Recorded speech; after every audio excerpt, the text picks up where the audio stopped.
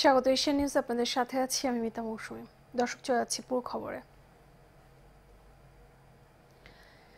শুরুতেই করোনা প্রসঙ্গ। দেশে করোনা ভাইরাসে গত চব্বিশ ঘন্টায় আরও পঁয়ত্রিশ জনের প্রাণ গেছে। এছাড়া দু হাজার ছয়শো পঁয়ত্রিশ জনের শরীরে করোনার উপস্থিতি শনাক্ত হয়েছে। এ পর্যন্ত কোভিড নাইন্টিন ভাইরাসে মোট মৃত্যু হয়েছে আটশো ছেচল্লিশ জনের। মোট আক্রান্ত হয়েছে তেষট্টি হাজার ছাব্বিশ জন।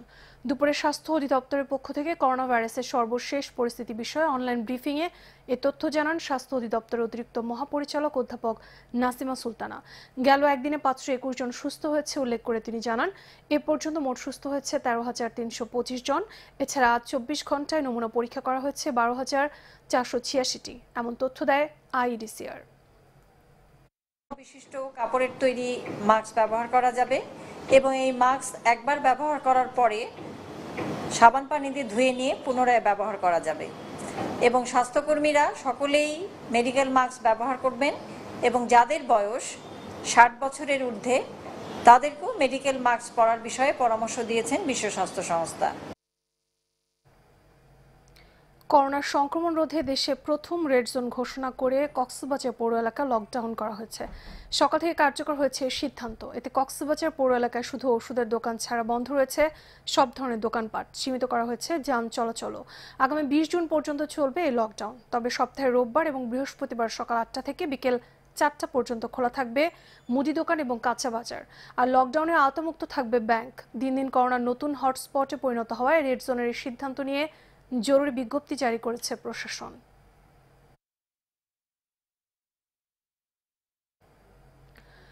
বিশ্বজুড়ে গত চব্বিশ ঘন্টায় নতুন করে করোনায় আক্রান্ত হয়েছেন দেড় লাখেরও বেশি মানুষ প্রাণ হারিয়েছেন, পাঁচ হাজারেরও বেশি। এ নিয়ে বিশ্বে করোনায় প্রাণ হারিয়েছেন তিন লাখ আটানব্বই হাজারের বেশি মানুষ। আর করোনার আক্রান্তের সংখ্যা বেড়ে দাঁড়িয়েছে আটষট্টি লাখ পঞ্চাশ হাজার চারশো তিয়াত্তর জনে। যার মধ্যে সুস্থ হয়ে বাড়ি ফিরেছেন তেত্রিশ লাখ একান্ন হাজার দুশো উনপঞ্চাশ জন। শীর্ষ আক্রান্ত দেশ যুক্তরাষ্ট্রে শুক্রবার প্রাণহানি হয়েছে সাতশো আটানব্বই জনের। এদিকে ব্রাজিল এবং রাশিয়া সংক্রমণের কেন্দ্রবিন্দু হয়ে উঠেছে। ব্রাজিলে হু হু করে বাড়ছে আক্রান্ত এবং মৃতের সংখ্যা। এদিকে ইউরোপের দেশগুলোতে লকডাউন শিথিলের পর হঠাৎই মৃত্যু আর সংক্রমণ বেড়েছে।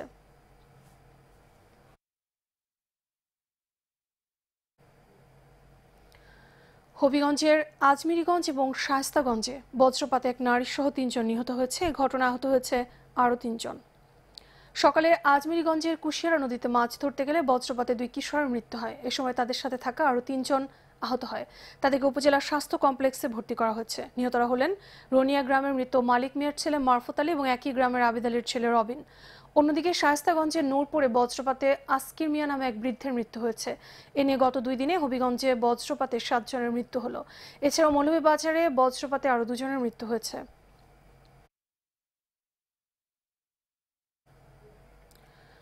ব্রাহ্মণবাড়িয়ার নাসিরনগর এবং সরাইলে টর্নেডোর আঘাতে একজন নিহত সহ বেশ কয়েকজন আহত হয়েছে। এছাড়া চারটি গ্রাম ক্ষতিগ্রস্ত হয়। স্থানীয়দের ভাষ্য, সকালে হঠাৎ করেই ঝোড়ো বাতাসের সাথে টর্নেডো শুরু হয়। দুই উপজেলার চারটি গ্রামের উপর দিয়ে টর্নেডোটি বয়ে যায়। এতে বেশ কিছু ঘরবাড়ি এবং গাছপালা ভেঙে পড়ে। উপজেলা প্রশাসন জানিয়েছে, সরাইল উপজেলার নোয়াগাঁও ইউনিয়নের কুচনিবড্ডা এবং নাসিনগর উপজেলার সদর ইউনিয়নের পশ্চিমপাড়া বুড়িশ্বর ইউনিয়নের শ্রীঘর এবং আশুরাইল গ্রামের উপর দিয়ে টর্নেডোটি বয়ে যায়। কয়েক সেকেন্ড স্থায়ী টর্নেডোর ফলে গ্রামগুলো অর্ধ শতাধিক বাড়িঘর ক্ষতিগ্রস্ত হয়। এ সময় সড়কের গাছপালা এবং নদীতে থাকা বেশ কয়েকটি নৌকাও ভেঙে ক্ষতিগ্রস্ত হয়।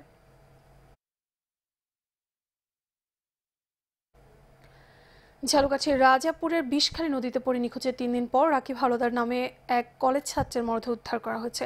সকালে উপজেলার চল্লিশ কাহানিয়া লঞ্চঘাট সংলগ্ন দক্ষিণ পাশের বিষখালী নদীতে ভাসমান অবস্থায় মরদেহটি উদ্ধার করা হয়। এর আগে তিন জুন উপজেলার বাদুরতলা এলাকার বাজারে লঞ্চঘাটের পল্টন এলাকা থেকে বিষখালী নদীতে পড়ে নিখোঁজ হন রাকিব। নিহত রাকিব বরিশাল হাতেমালি কলেজে অনার্স তৃতীয় বর্ষের ছাত্র ছিলেন।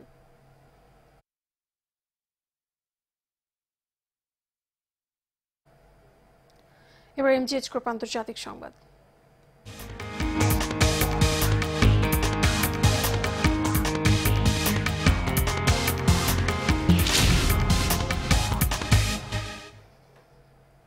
জর্জ ফ্লয়েডকে হত্যার ঘটনায় যুক্তরাষ্ট্র সহ এখনও প্রতিবাদ চলছে পুরো বিশ্বে। বিক্ষোভ অব্যাহত আছে কানাডার ব্রাজিল সহ ইউরোপের দেশগুলোতে। কারফিউ ভেঙে নিউ সিটি জুড়ে রাতের বেলা বিক্ষোভ করেন মার্কিন জনগণ, তবে শান্তিপূর্ণভাবে চলে বিক্ষোভ। এদিন বিক্ষোভকারীদের হঠাতে পুলিশি তৎপরতা ছিল খুবই কম। টেক্সাস সিটিতে র্যাপার বন বিয়ের উদ্যোগে জর্জ ফ্লয়েড স্মরণে আয়োজন করা হয় অনেক বড় সমাবেশের। মিশিগানে বিক্ষোভকারীদের সাথে যোগ দেন শহরটির পুলিশ সদস্যরা। এদিকে বর্ণবাদ বিরোধী বিক্ষোভে যোগ দেন কানাডার প্রধানমন্ত্রী জাস্টিন ট্রুডো। হাঁটু গেড়ে বিক্ষোভকারীদের সাথে সম্মান জানান মৃত জর্জ ফ্লয়েডের প্রতি। ব্রাজিলের রিউডি জেনেরিও শহরের রাস্তায় ব্ল্যাক লাইফস ম্যাটার স্লোগানে বিক্ষোভ হয়।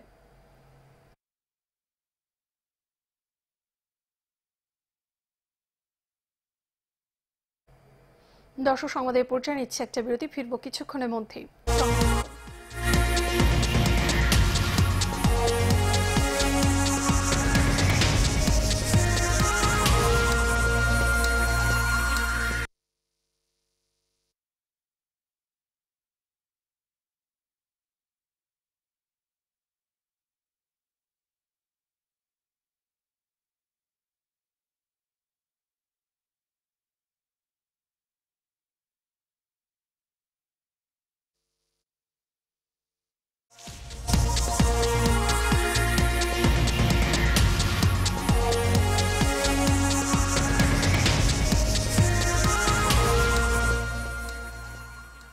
সমবিরতি শেষে সবাইকে আবারও স্বাগত। এশিয়ান নিউজ আপনাদের সাথে আছি আমি মিতা মৌসুমী। কুমিল্লা বৌর উপজেলার তিন নম্বর উত্তর খোসবাস ইউনিয়নের সড়কটি তেরো বছর ধরে সংস্কার না হয় বিপাকে পড়েছেন এখানকার চার থেকে পাঁচ হাজার মানুষ। বছরের পর বছর রাস্তাটি সংস্কার করার জন্য ইউপি চেয়ারম্যান কোনো ধরনের উদ্যোগ না নেয়, হতাশা প্রকাশ করেন এলাকার জনগণ। তিন নম্বর উত্তর খোসবাস ইউনিয়নের পাশের গ্রাম গোপালনগরেরও প্রত্যেকটি রাস্তার অবস্থা একই রকম।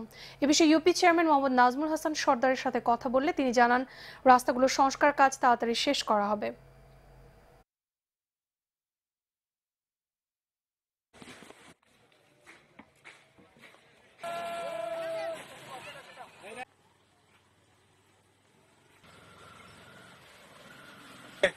মেম্বার চেয়ারম্যানে খবর দিলে কোনো কাম করে না। এই কষ্ট ভোগ করিয়া যাইতেছি। আমরা তো বিটে এরকম কও বাবা। বৃষ্টি নেই শুধু স্যার এই হুঙ্গাতে এরকম হয়। আমরা ওই তো আমরা পারি এটা। যা একটা কষ্ট কালকে তো আটানে গেছে না দুরমান। বাজার আট বাজার বন্ধ দিলাম লাগে। সহজ শর্তে ঋণ সুবিধার পাশাপাশি একশো কোটি টাকা অনুদানের দাবিতে সংবাদ সম্মেলন করেছে বাংলাদেশ বেসরকারি প্রাথমিক বিদ্যালয় এবং কিন্ডারগার্ডেন শিক্ষক সমিতি। ঢাকা রিপোর্টার্স ইউনিটির সাগরণী মিলনায়তনে আয়োজিত এই সম্মেলনের প্রধান অতিথি ছিলেন আতিকুর রহমান নান্নু মুন্সি। এ সময় বক্তব্য রাখেন শিক্ষক সমিতির মহাসচিব শেখ মিজানুর রহমান সহ অনেকে। বক্তারা, বেসরকারি প্রাথমিক বিদ্যালয় এবং কিন্ডারগার্ডেন টিকিয়ে রাখতে সহজে ঋণ সুবিধার পাশাপাশি একশো কোটি টাকা অনুদানের দাবি জানান।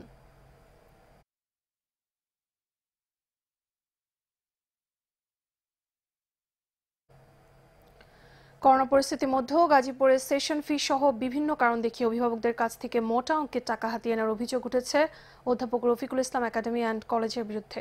অভিভাবকরা জানায় নতুন বছরের সেশন ফি নেওয়া হচ্ছে তিন হাজার টাকা। শিক্ষার্থীদের বাড়িতে নিজের খাতায় পরীক্ষা নেওয়া হলেও শুধু প্রশ্ন ছাপাতে ফি আদায় করা হয়েছে সাতশত টাকা। এছাড়া সরকারি বন্ধের মাসেরও বেতন ভাতা আদায় করছে প্রতিষ্ঠানটি। শিক্ষার্থীদের প্রতিষ্ঠান থেকে বের করে দেওয়ার ভয়ে এমন স্বেচ্ছাচারিতার বিরুদ্ধে কোনো অভিভাবক প্রতিবাদও করছে না। কর্তৃপক্ষ এসব অভিযোগ মিথ্যা বললেও এ বিষয়ে খোঁজ নিয়ে ব্যবস্থা গ্রহণের আশ্বাস দিয়েছেন জেলা প্রশাসক এস এম তরিকুল ইসলাম।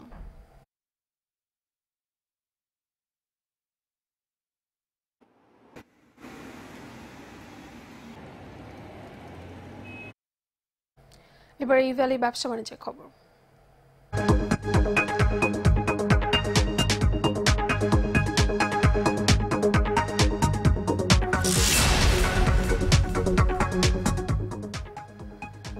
কুষ্টিয়া দৌলতপুরের ফিলিপনগর গ্রামে গেল কয়েকদিন ধরে ঝিম ধরার সাথে সাথে মারা যাচ্ছে মুরগি। এতে বিপাকে পড়েছেন পোল্ট্রি খামার মালিক। একতা পোল্ট্রি ফার্মের দাবি দু হাজার পনেরো সালে তাদের কার্যক্রম শুরু হলেও এ রোগের প্রাদুর্ভাব এবারই প্রথম হয়েছে। চার দিনের মধ্যেই মারা গেছে সব মুরগি, যাদের চিকিৎসা দিয়েও বাঁচানো যায়নি। তবে এ ব্যাপারে উপজেলা প্রাণী সম্পদ কর্মকর্তা বলেন, ভেলোজেনিক টাইন হলে মুরগিকে বাঁচানো অসম্ভব হয়ে যায়। এক্ষেত্রে আশি থেকে নব্বই শতাংশ মুরগি মারা যায়।